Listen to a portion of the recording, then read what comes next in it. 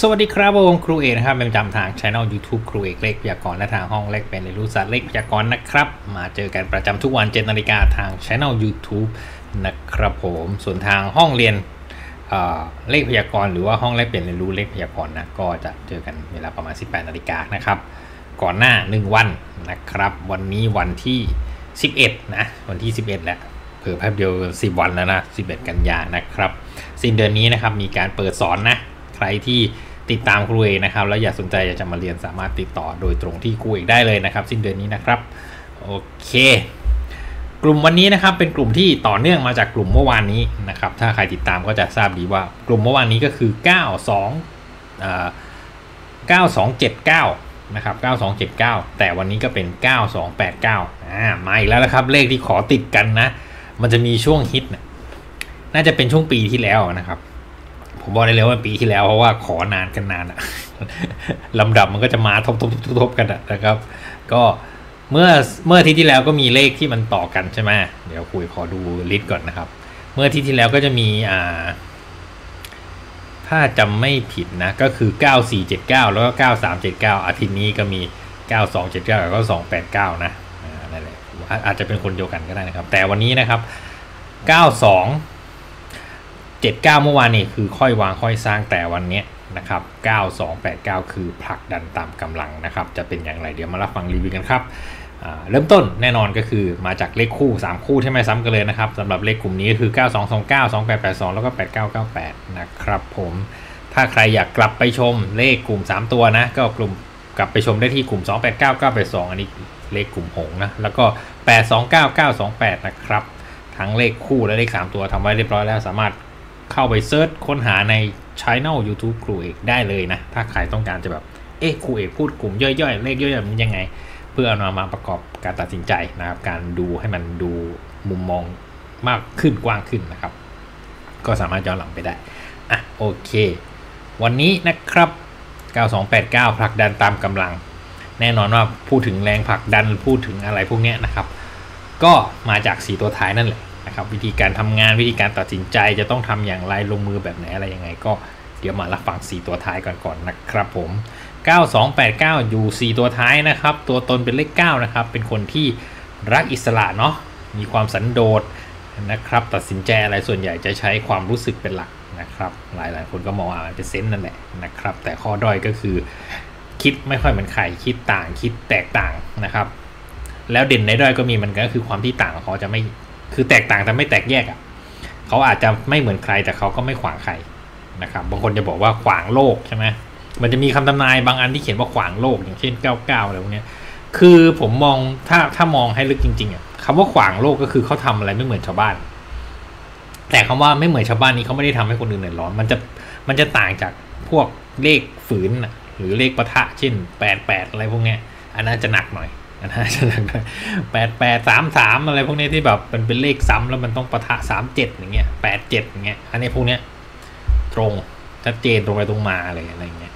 อันนั้นอาจจะขวางขัดใจแต่สำหรับผมเลขเก้าเนี่ยไม่ไม่ถึงขั้นนั้นนะครับ ก็คืออาจจะดูไม่เหมือนใครแต่ก็ไม่ไม่อะไรเท่าไหร่หมายถึงว่าไม่ไม่ได้ไม่ได้เป็นคนที่แบบปะทะ แต่ว่าแต่ว่าวันนี้นะครับ แนวคิดของคนนี้เป็นเลขแปด ถ้าเขาเป็นคนที่ชอบคิดชอบหาโอกาสใช้ความรู้สึกในการตัดสินใจ ถ้าเขารู้ว่าอยากจะทำอะไร คนเลขนี้นะคนแปดเก้านะรู้ว่าอยากจะทำอะไรเขาจะทำมันเลยจะหนักจะเต็ม คือชอบอะไรปุ๊บเล็งแล้วว่าอ่าเรื่องนี้มันพอทำได้มันพอไปได้นะมันพอจะจัดการได้นะเขาจะทำเลยเขาจะทำเขาจะจริงจังเขาจะทำเรื่องนั้นจากเรื่องที่เขาคิดให้มันจริงจังได้อยู่ตลอดเวลานะเป็นคนที่แบบไม่ค่อยปิดกั้นตัวเองครับ คล้ายๆ 99 แต่ผมมองว่าเปิดใจมากกว่า เพราะแนวทางมันเยอะกว่าอ่าอะไรที่สมมติว่าเขาชอบสมมติว่าเขาตัดใจอยากจะสมมติเป็นเรื่องเรียนหนังสือก็ได้นะครับ สนใจอยากจะเรียนวิชาวิทยาศาสตร์เงี้ยสนใจนะสนใจเด็กคนเนี้ยสมมติมี8ปดเก้าสมมติเด็กคนเนี้ยเป็น8ปดเก้าท้ายนะครับ สนใจอยากจะเรียนวิชาวิทยาศาสตร์ พอเขาปุ๊บเขาชอบวิทยาศาสตร์เขาชอบทดลองชอบอะไรเงี้ยเขาจะเปิดกว้างว่าฉันจะเรียนอะไรก็ได้ ฉันอยากเรียนวิทยาศาสตร์มีอะไรบ้างฟิสิกส์เคมีชีวะอะไรพวกนี้เขาจะว่าไปคือเขาจะเรียนรู้ทุกอย่างที่เกี่ยวกับวิทยาศาสตร์ จะไม่ใช่แค่เลือกบางอย่าง คือเรียนหมดอะถ้าจะเรียนสายวิทย์คือวิทย์ทุกอย่างประมาณเนี้ยหรือถ้าใครเอาเฉพาะที่เป็น 8 9 แล้วเกี่ยวกับการทำขนมขายของเนี่ยก็อาจจะไม่ได้ขายขนมแค่อย่างเดียว หมายถึงว่า ถ้าเป็นพูดถึงขนมไทยก็ขนมไทยทุกชนิดนะประเทศไทยมีอะไรบ้างที่เป็นขนมไทย หรือจะเป็น ขนมปังพวกเบเกอรี่ก็คือเบเกอรี่เบเกอรี่มีอะไรบ้างก็ทำมันทุกอย่าง จะไม่ทำเฉพาะอย่างอย่างเช่นบางคนก็จะขายแค่ซาลาเปาใช่ไหมบางร้านก็ขายแค่ซาลาเปาซาลาเปาอย่างเดียว อาจจะมีแค่ 2ออย่างซาลาเปาขนมจีบอะไรเงี้ยถึงออกแต่นี่ไม่ใช่แปดเก้านี่ทำทุกอย่างที่สามารถแตกยอดในสิ่งที่เขาสนใจนั้นแตกออกมาได้หมดประมาณนั้น เพราะฉะนั้นคิดการใหญ่ คือคิดได้แล้วอยากจะทำอะไรแล้วทำเลย มันเป็นมันเป็นค่อนข้างจะเปิดกว้าง แล้วถามว่าต่างจาก 98ไหมก็ค่อนข้างต่างตรงที่ว่าไอ้ 98น่ะทำอะไรก็ได้ แต่ไอ้ 89 นี่ทำไอ้สิ่งที่เขาคิดว่าจะทำได้ เพราะนั้นส่วนตัวผมถามถามว่าผมชอบอะไร ผมชอบทั้งคู่ แต่ผมชอบแรงผลักดันแบบ 98 แต่ผมชอบมุมมองในการเลือกปฏิบัติ เลือกเลือกเอาสิ่งนั้นมาทำให้มันจริงจังแบบ 89 ผมชอบแบบเนี้ยนะครับตำแหน่งต่อมาครับเป็นเลข 2 การถ่ายทอด คิดกันคิดกว้างไกลคิดให้ใหญ่แล้วก็ค่อย ๆทำ คน289ท้ายจึงสามารถดำเนินชีวิตได้อย่างที่แบบว่า แม้แม้จะสิ่งนั้นอะแม้จะยากจะลำบากแค่ไหน เขาก็จะค่อยๆค่อยๆทำค่อย ๆ สะสม ค่อย ๆทำมันไป คล้าย ๆ กับกลุ่มเมื่อวาน แต่อันนี้คือทำแบบ เรียกว่ามีจังหวะค่อยไป จะไม่จริงคือ279เนี่ยจะจริงจังหน่อย จะต้องฟิก แต่ค่อยๆทำเหมือนกัน แต่ถ้า289เนี่ย เอาเท่าที่ทำได้ เอาเท่าที่ทำได้ผมตั้ง ผมเลยตั้งชื่อว่าผลักดันตามกำลังนั่นแหละ เอาเท่าที่ทำได้ บางคนอาจจะบอกว่าเอ้ยเห็นแปดมันเป็นลาหูมันต้องจัดใหญ่จัดหนัก แต่จริง ๆ แล้วในมุมมองผมนะไอ้เจ็ดนี่แหละ มันทำทุกรายละเอียดไง อันนั้นมันจะดูเหนื่อยหน่อยวันนั้นจะดูคิดเยอะคิดอันนั้นรายละเอียดยิบย่อยแต่นี่คือ เอาเท่าที่ทำได้ จังหวะนี้ทำอะไรได้ ก็ลงมือทำอันนี้จังหวะอันนี้ทำอะไรได้ก็ทำอันนี้ แต่เขาทาเรื่อยๆนะเขาทำเรื่องจะเล็กจะใหญ่เขาทาหมดนะครับ แต่รายละเอียดดีเทลอาจจะไม่เท่าสองเจ็ดเก้าแต่นี่คือถึงรายละเอียดจะไม่ได้แต่ภาพรวมอะทำนู่นทำนี่ทำนั่นก็ดูเยอะเหมือนเช่นกันนะครับท้ายสองไปเก้าท้ายหัวก็จะประมาณนี้ถ้าใครเห็น เอ๊อยู่ตรงนี้เป็นยังไงบ้างก็ปอๆกัน แต่โชคดีนะที่นี้เป็นสองบางคนถามผมอะไรเจ็ดแปดเก้าที่อยู่ท้ายอะไรผมว่าอันนั้นจริงจังเลย ท้ายสองแปดเก้าแต่ไม่ใช่ค่อย ๆทำนะทำจริงจังเลย หยิบอะไรมากระทำหยิบอะไรมากระทำอันนี้ทำเฉพาะเท่าที่ทำได้สองแปดเก้ามันจะมีจุดที่แบบค่อยๆเป็นค่อย ๆ ไปอยู่นะครับ แต่จุดที่เด่นก็คล้ายๆกับเลขกลุ่มเมื่อวานสองเจ็ดอ่าเก้าสองเจ็ดก็คือมีเก้าในพื้นฐานการทำงาน เพราะนั้นสิ่งที่เขาค่อยๆทำค่อยๆเสริมอะมันจะต่อยอดไปได้เรื่อยๆ มันจะต่อยอดไปได้เรื่อยๆนะครับ ดังหัวข้อที่ว่าผลักดันตามกำลัง เพราะนั้นคนคนนี้ไม่มีหมดไฟ ไฟมาค่อยๆมา ค่อยๆไป ค่อยๆมา ค่อยๆไป ไม่มีหมดไฟแน่นอนถ้ามีใช้ธาตุไฟนะหมายถึงว่าหมด ไม่มีหมดกำลังอะกำลังใจไม่มีมีแรงผลักเข้าไปเรื่อยๆ แต่ค่อยๆผลักค่อยๆดัน มีกำลังเท่าไหร่ก็ใส่ไว้เท่านั้น มีกำลังเท่าไหร่ก็ใส่ไว้เท่านั้น แล้วทำให้สำเร็จได้อยู่เรื่อยๆนะครับ เป็นคนที่ต่อยอดเก่งนะ จากสิ่งที่ไม่ค่อยมีอะไรอะสมมติไม่มีอันนี้ก็ทำอันนี้ก่อน สมมุติไม่มีอะไรนะถามว่ามันคล้ายคลึงกับเลขที่ผมใช้ไหม ก็คล้ายนะ เพราะเลขผมเป็นสองแปดสามไง อันนี้เป็นสองแปดเก้าเนาะ แต่ว่าเลขที่ การทำงานผมเป็นเลขแปดคือผมจัดหนักจัดเต็มอยู่แล้ว แต่คืออันนี้มันก็เก้าสองแปดเก้าเนี่ย ถามว่าอาการคล้ายๆแบบสมมุติว่า ผมไปเล่าให้ฟังถึงถึงเลขที่ผมใช้นะครับ มุมมองผมก็คือ สมมติผมอะเป็นคนที่ถ้าใครที่ติดตามผมนอกจากทางเพจแล้วก็ติดตามจาก Facebook ส่วนตัวจะเห็นว่าผมก็เปิดอีกอย่างหนึ่งก็คือผมเปิดร้านคาเฟ่ที่บ้านตัวเองนั่นแหละก็เปิดคาเฟ่ผมร้านกาแฟร้านเครื่องดื่มอะไรพวกนี้นะครับ คือผมเริ่มจาก ผมเริ่มจากค่อยๆทำอะ ผมจะไม่ตูมเดียวอะนึกออกใช่ไหมผมจะผมคิดในหัวผมแล้วว่าจะต้องมีอะไรนู่นนี่นั่นแต่ผมจะไม่แบบว่าคิดให้มันเสร็จแล้วผมไปสร้างตั้งแล้วให้คนมาเลยแบบร้านที่เขาใหญ่ๆผมเนี่ยนะผมผมจะดูตามกำลังตัวเองว่าตัวเองทำได้แค่ไหน อย่างเช่น ตอนเนี้ยผมทำหลังคาได้แล้วทำเสาได้แล้วทำปูนได้แล้ว อะไรพวกไหนที่ผมมีได้ผมจะค่อย ๆทำต้นไม้ต้องดูแลยังไงต้องจัดมุมไหน คืออันไหนที่เราทำได้มีกำลังทำได้ เราจะทำเราจะค่อยๆทำแล้วค่อยๆเติมค่อยๆเติมค่อยๆเติม จนกระทั่งมันสำเร็จอะ่ะ มันอาจจะไม่ได้เป๊ะเหมือน เหมือนตอนที่เราคิดไว้แต่แรกแต่คือมันก็เป็นภาพรวมที่โอเค มันได้เปิดเป็นคาเฟ่ซึ่งอันนี้คือลักษณะของ 2 และ8ในตำแหน่งเนี่ย มันจะค่อยๆทำนะครับ แต่ถ้าเป็น 9 ในตำแหน่งงานเนี่ยทำออกมาให้มันดูดีให้มันดูประทับใจให้มันรู้ร่วให้มันสำเร็จแต่ของผมนี่คือ จะไปเรื่อยๆนะครับ ไม่ได้ซีเรียสว่าจะเข้าจะออกแต่ขอให้มันสามารถ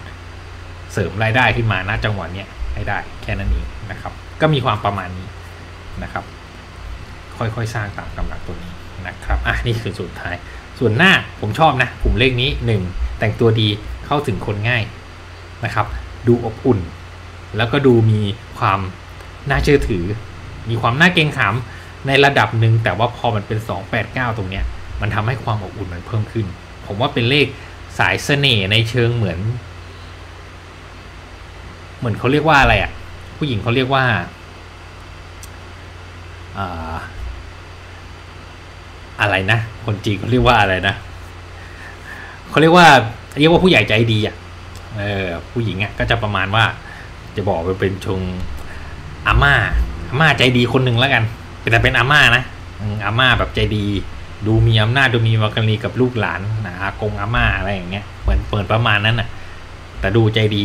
เหมือนอาแปะอาแปะใจดีถ้าเป็นผู้ชายนะเป็นอาแปะใจดีมีความอบอุ่นเขาจะมีรอยยิ้มที่ค่อนข้างจะดึงดูดผู้คนนะครับ อยู่พอสมควรแต่ก็ใครรู้สึกว่าอาแปะแต่อาแปะหรือว่าอาม่าที่มาหาเราเราจะมีความรู้สึกแบบเกรงใจท่านหน่อยๆเพราะท่านเป็นคนที่ดูแลลูกหลานหลาย ๆ คน เราก็จะรู้สึกแบบเอ้ยเออ มีความทั้ง อยากเข้าไปหาท่านด้วยความอบอุ่น แล้วก็อยากเข้าหาท่านด้วยความเคารพเนี่ยจะมีอาการประมาณเนี้ยเพราะนั้นผมเลยมองว่ามันเหมาะกับคนที่ดูอบอุ่นด้วยดูใจดีด้วย แล้วก็ดูเป็นผู้บริหารด้วยเราจะดีนะครับ ก็สายเสน่ห์ในเชิงผู้บริหารละกันนะครับ มองมุมนี้นะสำหรับด้านหน้านะครับบุคลิกก็ประมาณนี้